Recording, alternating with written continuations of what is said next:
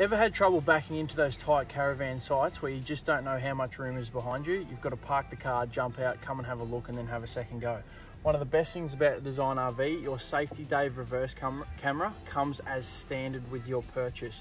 It's also a full-time camera while you're driving, which gives you a screen inside the car to show you exactly what's behind you at all times. Come and jump into the cruiser and I'll show you how it works.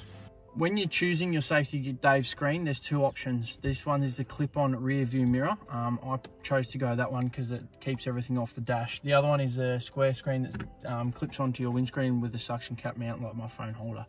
Um, with this one, what I like about this one is it's a mirror while you're not using it, but obviously when the van's hooked on and you turn it on, um, you've got that full-time view behind the caravan as well. So um, with these, they do have two channels in them, so you can have two cameras running at these at the same time.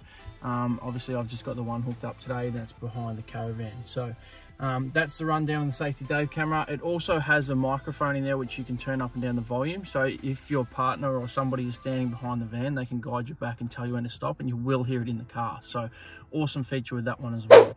Um, any questions you've got about the Safety Dave reverse camera, feel free to reach out to us on any of our social platforms.